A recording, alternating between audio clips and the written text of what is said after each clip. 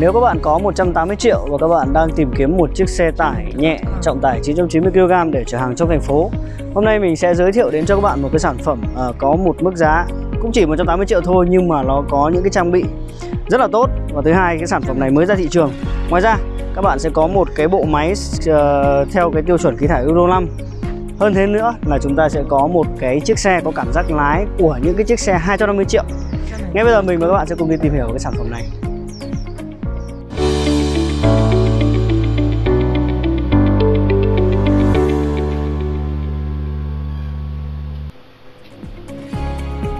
À, chào mừng các bạn đã quay trở lại với kênh uh, ô tô thiện nhân. Hôm nay chúng tôi uh, sẽ giới thiệu đến cho các bạn một cái sản phẩm có một mức giá vô cùng rẻ.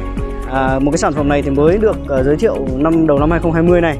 Đây là sản phẩm uh, K01S của TMT TMT Cường Long.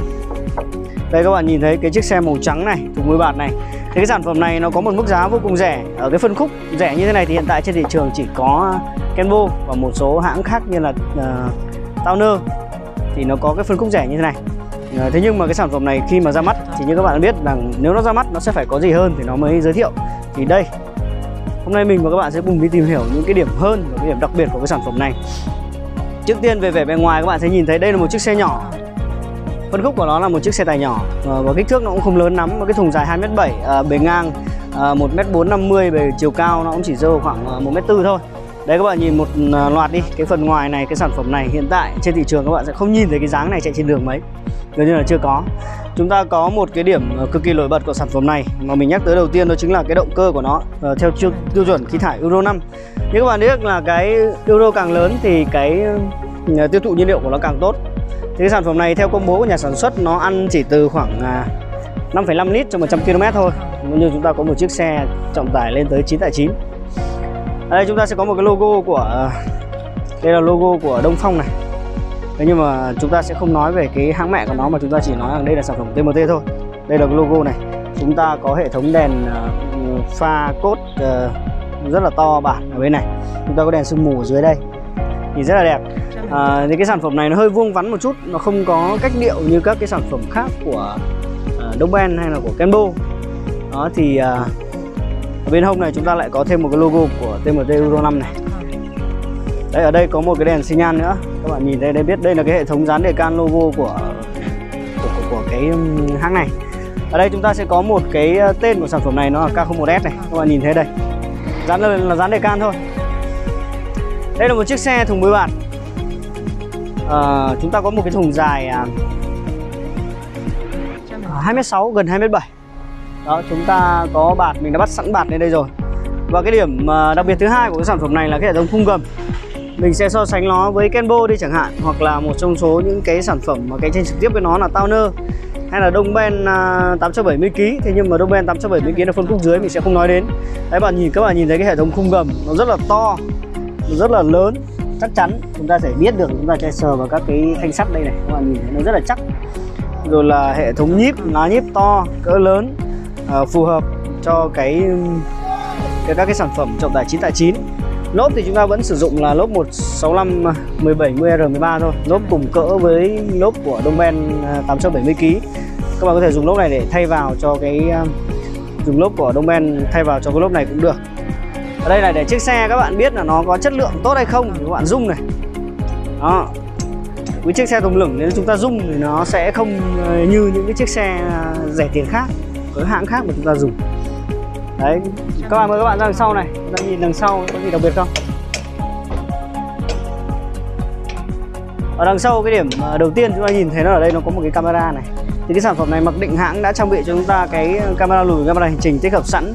À, có chơi nhạc có chơi fm có chơi uh, radio. Nói chung là tất tần tật mọi thứ nó tương đồng với một cái sản phẩm uh, camera lùi camera hành trình. Các bạn mua ở ngoài khoảng 3 đến 4 triệu ở đây hệ thống ờ, thùng bệ thì mình đánh giá là thùng bệ của sản phẩm này rất là tốt. Với mức giá này thì không thể nào có được cái thùng bệ nó chắc chắn và nó ổn định như thế này. Mời các bạn vào cabin chúng ta sẽ mình sẽ giới thiệu qua cho các bạn một chút về cabin và tại sao mình lại nói rằng đây là một trong những cái sản phẩm mà à, nó có cảm giác lái như những chiếc xe ờ, hai trăm rưỡi hai trăm năm mươi triệu đổ lại. Chúng ta sẽ có một cái cabin nó cũng khá là rộng. Đây chúng ta nhìn thấy cái lô à, có một cái à, màn hình là cam nồi camera trình rất là lớn này. Để mình mở lên cho các bạn xem nhé.